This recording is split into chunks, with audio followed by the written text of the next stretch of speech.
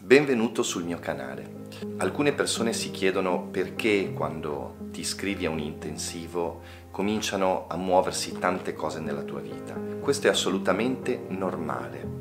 Le tue identificazioni iniziano ad agitarsi, il tuo ego comincia ad avere paura ed ecco che le cose intorno a te, le cose che hai costruito attraverso l'ego, attraverso l'identificazione, attraverso la proiezione del tuo falso io, iniziano a vacillare, iniziano a muoversi, iniziano a cercare una nuova forma, un nuovo modo di esistere. In qualche modo il tuo ego sa che dovrà farsi da parte, sa che dovrà spegnersi, sa che non esiste, che è tutta un'illusione, che è una falsità, che è un sogno che è lì costruito e che semplicemente appare, ma il problema fondamentale è che ti ci sei identificato. Quando ti iscrivi a un intensivo sulla consapevolezza di chi sei tu, tutto comincia ad agitarsi, tutto comincia a muoversi nella tua vita. È una guarigione, Lascia che questo succeda, permetti che questa manifestazione vada avanti, permetti che ciò che accade dentro di te possa continuare ad andare avanti, possa continuare a esistere così com'è,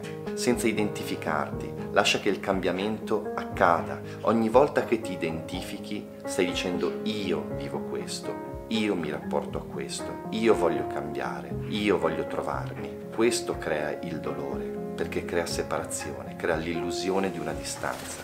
Non esiste alcuna distanza fra te e tutto ciò che sei. Tu sei la manifestazione, tu sei tutto quello che sta avvenendo. Lasciati con coraggio attraversare e testimoniare i cambiamenti, perché non c'è nessuna cosa che rimane così com'è per tutta la vita. Solamente l'essenza rimane se stessa e tu sei l'essenza.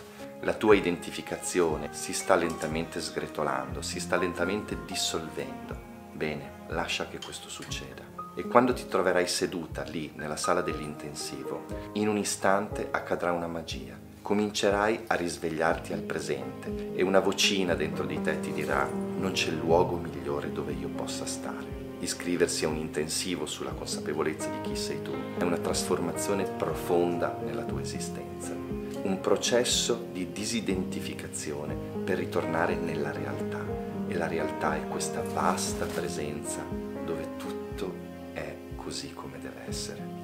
E questa è Pepita, il mio pappagallo bellissimo che mi fa compagnia tutti i giorni. A presto cari. Thank you.